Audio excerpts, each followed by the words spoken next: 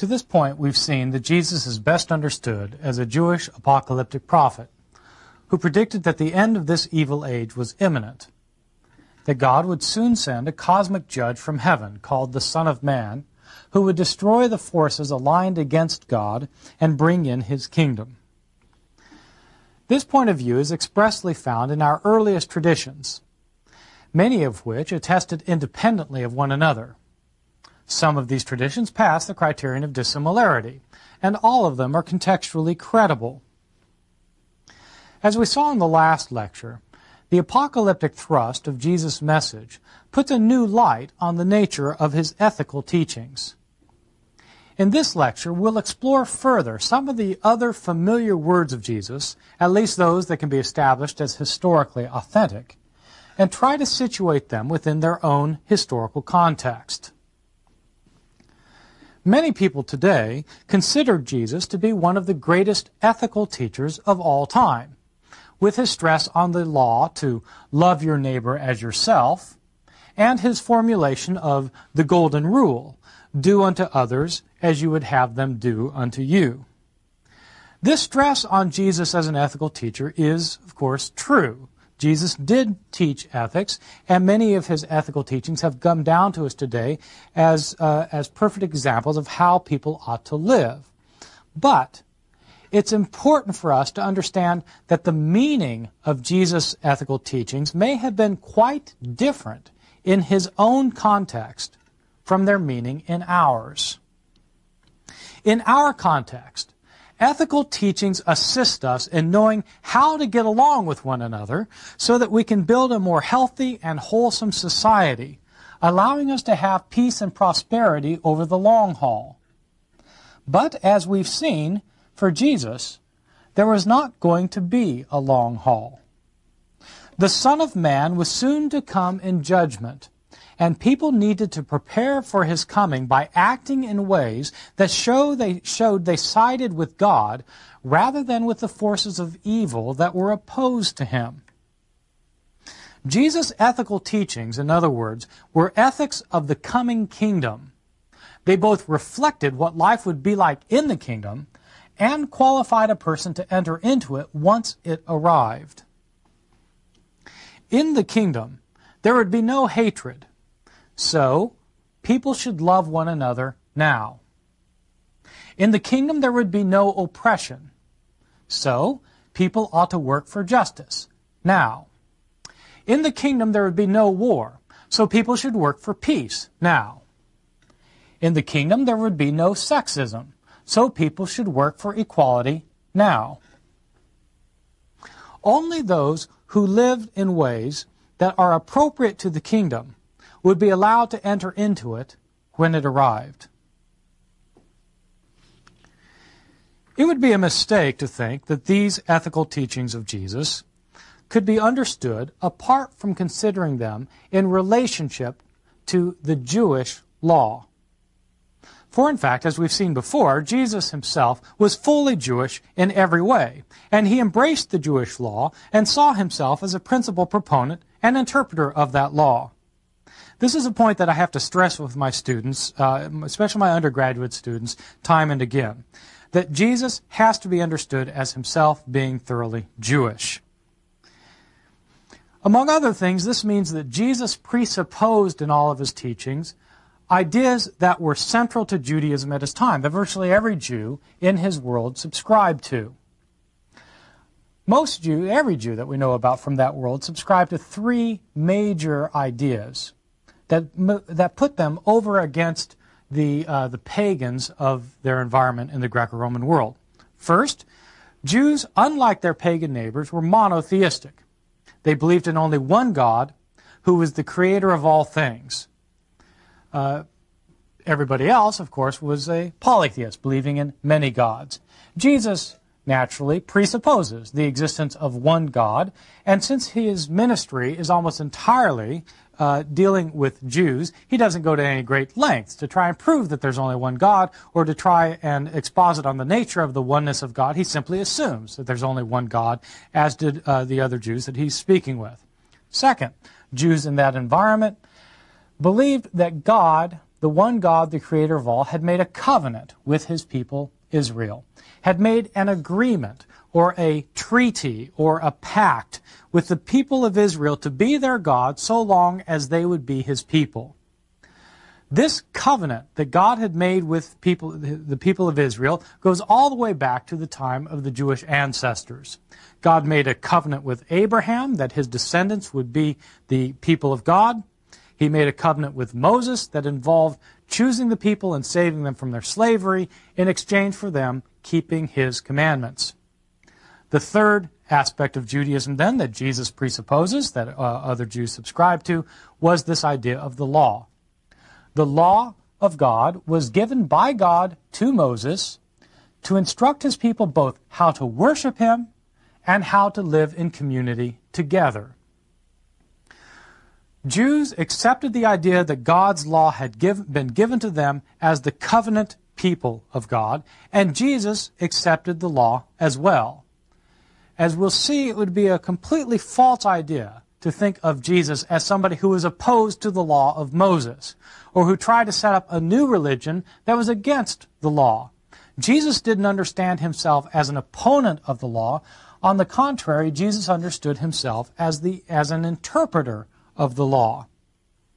To be Jewish in Jesus' day meant, in part, to embrace the law that God was believed to have given to Moses as this law was embodied in the first five books of what we think of as the Hebrew Bible, the Torah, five books of Genesis, Exodus, Leviticus, Numbers, and Deuteronomy.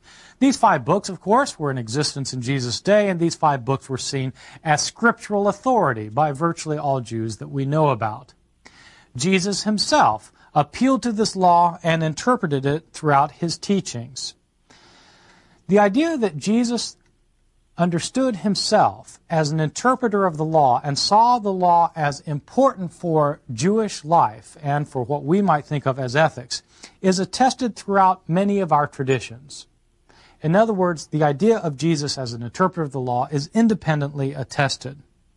One of the most interesting uh, passages found in the Gospels with respect to Jesus and the law is found in our earliest account, the Gospel of Mark, in chapter 10. This is a, uh, a story that uh, I think probably passes our various criteria, probably in some sense goes back to Jesus. It's an account in John chap- in Mark chapter 10 where uh, a man comes up to Jesus, kneels before him, and asks Jesus, Good teacher, what must I do to inherit eternal life? Jesus says to him, Why do you call me good? No one is good but God alone. You know the commandments. You shall not murder, you shall not commit adultery, you shall not steal, you shall not bear false witness, you shall not defraud, honor your father and mother. So Jesus, the, the man wants to know, how do I have eternal life? Uh, how do I enter the kingdom that's coming? Jesus tells him, keep the commandments. Uh, the person then responds to him by saying, Teacher, I've kept all these since my youth. Jesus, looking at him, loved him and said, You lack one thing. Go, sell what you own, and give the money to the poor, and you'll have treasure in heaven. Then come, follow me. When the man heard this, he was shocked and went away grieved, for he had many possessions. Uh, then, right after this, is where Jesus starts telling his disciples that uh, it is easier for a camel to go through the eye of a needle than for a rich person to enter into the kingdom of heaven. Why? Because to enter the kingdom of heaven, you have to give up everything for the sake of this coming kingdom. I, am not sure that this entire story, as it's framed in Mark, goes back to Jesus. In other words, I am not sure that if you had a video camera, you would have been able to capture this on tape. I do think that the basic idea of the story, the kernel of the story, probably is historical, though, because it seems to me to pass the criterion of dissimilarity. Christians would probably not have made up a story that said, if you want to have eternal life, all you have to do is keep the commandments. And then, uh, you know, on top of the commandments, simply give away all your possessions. Why? Because Christians thought the only way to have eternal life was to believe in the death and resurrection of Jesus. There's nothing about belief here. There's simply following the commandments, giving away your possessions, then you'll have treasures in heaven. Well, if Christians wouldn't have made up the story, why is it in the tradition? Probably this is a story that goes back to Jesus. It portrays Jesus as somebody who is firmly committed to the law of Moses. What must you do to have eternal life? You keep the commandments. This teaching of Jesus is consonant with other teachings throughout the Gospels. Jesus constantly refers to the law in order to tell people how they ought to behave and in order to explain uh, both the will of God and his own activities. We find these teachings in Mark, as we've just seen. We find them in Q. We find them in M. We find them in John. Matthew's gospel, preserving a tradition in what we call M, uh, has Jesus say that, in fact, a person must keep the commandments of God found in the Torah better than the scribes and the Pharisees if they want to enter into the kingdom. Jesus says, Don't think that I came to abolish the law, I came to fulfill the law.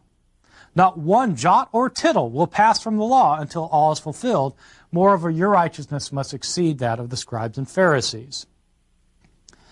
Throughout the Gospels of the New Testament, Jesus constantly quotes the law and gives his own interpretation of it, over against the interpretations of other teachers of his day. The disputes Jesus had with the Pharisees, Sadducees, and others, as we'll see more fully in the next lecture, were not disputes over whether somebody should be Jewish, or whether somebody should keep the law, or whether the law came from God. The disputes were about the interpretations of the law. Just as within Pharisaism, different rabbis disputed this commandment, what it meant here, what it meant there, how one should understand the law, so too Jesus entered into disputes with other Jewish teachers about legal interpretation. In contrast to Pharisees, as we'll see more fully next time, Jesus did not think that scrupulous observance of every single detail of every law was what God was ultimately concerned about.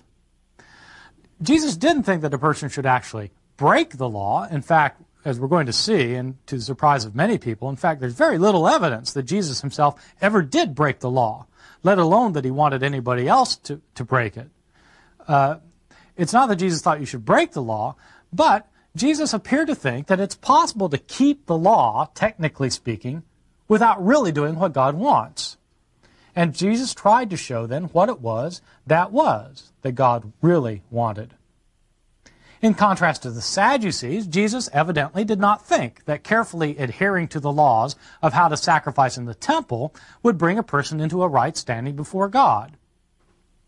In contrast to the Essenes, Jesus did not, did not think that maintaining one's own ritual purity by separating oneself from the sinfulness of the rest of the world was ultimately what God wanted. In all of these disagreements, the issue was never over whether God's law, as found in the Hebrew Bible, should be kept. The question was how it should be kept and what it meant to keep it. For Jesus, as for other Jewish teachers of his day that we know about because we have other sayings of other teachers preserved, what ultimately mattered uh, was that the people of God keep the very heart of God's law, namely the commandments that one should love the Lord your God with all your heart, all your soul, with all your strength, Deuteronomy chapter 6, verse 4, and that one should love one's neighbor as oneself. Leviticus chapter 19, verse 18. According to an ancient tradition found in Mark's Gospel, Mark chapter uh, 12, verses 28 through 34, when a legal scholar came up to Jesus and said, what are the, What's the greatest commandment? These are the two commandments that, that Jesus gave. Love God above all else, love your neighbor as yourself. Jesus did not invent the saying that you should love your neighbor as yourself when he gives that teaching, he's simply quoting Scripture itself. Leviticus chapter 19, verse 18. Jesus then, like other Jewish teachers of his day, saw the love commandments as standing at the heart of the law. If somebody really does that, really loves God above all else, and really loves one's neighbor, then one will be fulfilling what God wants. For Jesus, the way one loves God above all else is by committing oneself completely to Him, rather than living for oneself. And the way one loves one's neighbor as oneself is by becoming a servant of others, rather than seeking to exalt oneself over them. Doing these things for Jesus, a person would fulfill the law of God. Even though the commandment to love, to love God, to love one's neighbor, even though the commandment to love is simple, for Jesus it is also all encompassing. Giving oneself over completely to the command to love is complete is necessary if one wants to enter into God's kingdom, which for Jesus is the ultimate goal of all human existence. The kingdom of God according to Jesus, is to be sought after as one's most prized possession. One, in fact, should give up everything one has for the sake of this coming kingdom. There's this very interesting parable in Matthew chapter 13, uh, which has a uh, uh, parallel in the Gospel of Thomas, the so called parable of the pearl of great price. Very brief little parable that's intriguing. Jesus says that the kingdom of God is like a merchant who is in search of, of pearls, and he finds finally a great pearl, uh, a perfect pearl. In order to own the pearl, then, the merchant sells everything he has, and with the proceeds, he buys the pearl. It's the end of the story. It's a strange story, though, when you think about it. This person gives up everything he has, sells the entirety of all he has to buy the pearl. But then what does he have? Well, he's got the pearl. he's got nothing else. And what good is that? Presumably, having a pearl is of some use if you uh, maybe can sell it to buy other things, or if you can display it, or if you could do. You can't do anything. It's just a pearl. That's all he's got. But he sold everything for it. Sometimes Jesus' parables are meant to be ridiculous like that, or to sound odd or paradoxical, or to make you kind of sit up and think, what in the world? But for Jesus, that's exactly right. The kingdom of God is like that. It might seem absurd, but you give up everything for it. That's how valuable it is. Nothing in human existence should be of any ultimate concern except for this coming kingdom. As Jesus says in uh, Matthew's version of the, sermon, the, the Sermon on the Mount, Matthew chapter 6, uh, verse 25, not even what you eat or what you wear should be of any importance to you. Don't worry about your life, what you eat or what you drink, or about your body, what you wear. Is life not worth more than food, and the body more than clothing? Look at the birds of the air. They don't sow, nor reap, nor gather into barns but your heavenly Father feeds them. Aren't you worth more than they? And can you, by worrying, add a single hour to your span of life? Why do you worry about clothing? Look at the lilies of the field, how they grow. They neither toil nor spin. Yet I tell you, even Solomon in all his glory was not clothed like one of these. But if God has cl- so clothed the grass of the field, which is alive today and tomorrow is thrown into the, uh, into the oven, will he not much more clothe you, O you of little faith? Then he goes on to say, Strive above all for the kingdom of God and, and his righteousness, and all these other things will be given to you. What is of ultimate importance is not what you eat, drink, or wear. What's of ultimate importance is this coming kingdom. You should abandon everything for it. Abandoning everything for it means com- be, being completely committed to God. A person cannot be committed to more than one master as uh, Jesus says in Luke chapter 16, you can't serve two masters. If you do, you'll despise the one and love the other. You can only serve one master, and therefore you should serve God alone. Or as the same saying is said in the Gospel of Thomas, I rather like this way of putting it. Jesus, this is independent of Luke. Uh, Jesus says, it's impossible for a person to mount two horses or to stretch at the same time two bows. And it's impossible for a servant to serve two masters, otherwise, he'll honor the one and serve the other contemptuously. One should then give up everything, all possessions, and everything that binds one to this world in light of this coming kingdom. One should serve God alone in anticipation then that he'll give this kingdom. Those who give up their lives will gain much in the kingdom that is soon to appear. In one story in Mark's gospel, we have the account of uh, Jesus saying you have to give up everything. And Peter saying, uh, Well, look, uh, we've left our homes and our families and our fields, our houses to follow you. And uh, Jesus replies, Yes, everyone who has given up uh, everything to follow me in this age will gain uh, more fields, more houses, more family, and in the age to come will gain eternal life.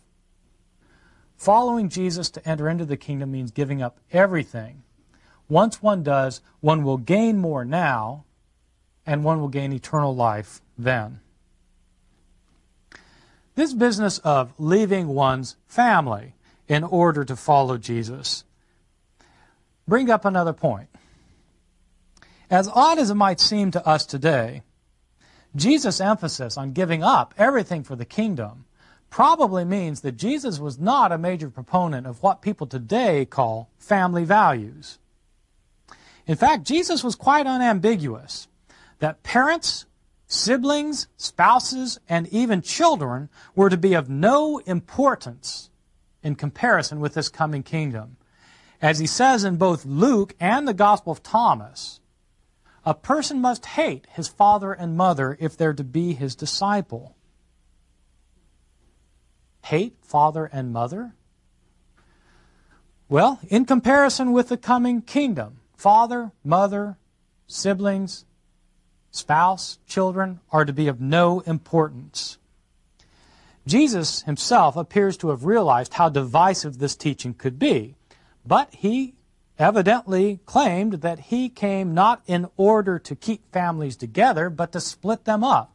Don't think that I came to bring peace. I've come to cast a sword on the earth. Families will be divided against one another. A, fa- a, father against the son, a son against the father, a mother against the daughter, a daughter against the mother, and so forth. Jesus' teachings are going to split families rather than bring them together. As with the other hard sayings of Jesus, I don't think that these should be explained away so that they no longer mean what they say. Instead, they should be placed within their own apocalyptic context. For Jesus, the kingdom was so important and so near that people should abandon everything, even their own families and their own family commitments if necessary, in order to prepare for its arrival. This raises a related question about what Jesus taught about marriage. It's an interesting question to think what did Jesus think about uh, whether uh, about men and women being married together because there's no indication that Jesus himself was married, which would be uh, highly unusual for a Jewish man in the first century. Now, in today's culture, if uh, if a uh, if a middle-aged man is not married, a common assumption is often, well, he's gay. In the ancient society, uh, that wasn't the assumption at all. In the ancient society of Jesus' day, if a, a middle aged man wasn't married, the assumption was he's ascetic. He's depriving himself of the pleasures of the flesh. There is good evidence that Jesus, in fact, was ascetic. As we've just seen, he teaches that you shouldn't be concerned about what you eat, what you drink, what you wear. Did Jesus think that you shouldn't be married? Jesus, of course, never teaches against marriage, but it is there, there are some suggestions about what Jesus thought about marriage, especially in a passage found in our earliest source, Mark, in one of Jesus' conflicts with, uh, in this case, not the Pharisees, but with the Sadducees. The Sadducees, uh, as we've seen, were a group that subscribed principally to the teachings of the first five books of the Hebrew Bible, the Torah. The Sadducees, among other things, did not think there was going to be a future resurrection of the dead they, uh, they come up to Jesus in Mark chapter 12 and ask, ask him why he thinks there's going to be a future resurrection, and they, uh, they kind of set a trap for him. They say, uh, a hypothetical situation. There's a man who's married, and uh, he and his wife don't have any children. The man dies. Now, according to the law of Moses, if a man dies without leaving his spouse any children, and his, he's got a single brother, his brother's supposed to marry the, marry the woman. Well, it turns out there were seven brothers, and the first one to marry the woman, they had no children. He dies. The second one marries her, uh, no children. He dies. Third marries, no children. All seven of them end up marrying this woman. They all die. Uh, and then the woman dies. And they say, now, when everybody's raised from the dead, whose wife is she going to be? Well, it's a tricky, tricky question. But Jesus deals with the question because he believes there is going to be a future resurrection, as a good apocalypticist would believe. His reply, though, is that you don't know the scriptures nor the power of God, because in the resurrection, There will not be marriage nor giving in marriage. People won't be married. They'll be, like he says, the angels. Jesus appears to have believed that in the new age that's coming, there would not be marital relationships. Elsewhere, we've seen that Jesus believed his followers should begin implementing the ideals of the kingdom in the present, now. It may well be that Jesus urged his followers not only to leave their spouses, but not to get married if they could help it. That is exactly the teaching of one of his followers, the Apostle Paul, in 1 Corinthians, some 30, 25 years later, when Paul urges the Christians, if they could help it, not to get married because the end was near and there's no point being married in the present age. Jesus appears not to have advocated what we today might think of as strong family values because he wasn't interested in a strong social structure to promote a healthy society precisely because he thought society was diseased and was soon going to be destroyed. One needed to be ready for the new order, in which there'd be no marriage, no children, where everyone would be brothers and sisters of one another, and all people would be children of the one true God. Jesus appears to have maximalized the commandment to love one another and to minimalize everything else in comparison. We can see this throughout Jesus' various teachings. In the Sermon on the Mount, Jesus delivers what are uh, the statements that are called the antitheses, in which he will set up a teaching of the law and then set over against it his interpretation of the law, uh, which show his maximalization of the teaching of love. The law says don't, don't murder. Jesus says if you really want to love your neighbor, you won't only not murder your neighbor, you won't even be angry with your neighbor. The law says don't take your neighbor's wife. Don't commit adultery. Well, if you really engage in love, though, you won't even not take your neighbor's wife. You won't even want to take your neighbor's wife. You won't even lust after her. The law says that you should make the punishment of someone who has offended you commensurate with the offense. An eye for an eye and a tooth for a tooth. But if you really love your neighbor, you won't demand a punishment at all or even take offense when he harms you. So if somebody hurts you, you should turn the other cheek. This love of others should extend to everyone in the most extreme circumstances. You shouldn't seek restitution for what others have taken from you. Instead, you should forgive what others owe you. You shouldn't judge others for their genuine shortcomings. You should judge not, lest you be judged. You should love those even who are your own sworn enemies, who are out to hurt and kill you. In particular, Jesus was concerned that his followers engaged in active love for those who are underprivileged and oppressed, the impoverished, the mentally diseased, the terminally ill, the outcast, the imprisoned. It was such as these, according to Jesus, who would inherit the kingdom of heaven when it arrived. The command to love one's neighbor as oneself, of course, had its corollary in the command to love God above all else. This love of God meant anticipating his coming kingdom and putting its kingdom above everything. People could trust that God would give them this good kingdom because God was like a good parent, a father who loved his children who would give them what they needed. That's why people could ask God for whatever they needed and God would provide it for them. This trust of God to give them what they needed as a good parent is, of course, Jesus' teaching about faith. Faith in God means trusting God as you trust a good parent to give you what you need, especially this good kingdom that was coming. In conclusion, the more clearly ethical teachings of Jesus are not to be removed from their apocalyptic context. It's true that Jesus delivered some of the great ethical instructions that have ever been heard in the history of our form of civilization. But these instructions were not meant to make us better people, so that we could lead long and productive lives in a harmonious society. They were instead meant to prepare people for the coming kingdom, where love would reign supreme and there would be no more hatred, oppression, or abuse. Jesus gave these interpretation, these teachings as interpretations of the Jewish law. They were ultimately based on two of the commandments of the law that Jesus saw as encompassing all others the commandment to love God completely and the commandment to love one's neighbor as oneself. Jesus, in other words, did not see himself as inventing a new system of ethics, but as explaining the law of Moses in view of his, of his own apocalyptic context. Those who committed themselves completely to God and their fellow humans in love would survive the coming onslaught when the Son of Man arrived from heaven in judgment against all those who stood opposed to God and his ways.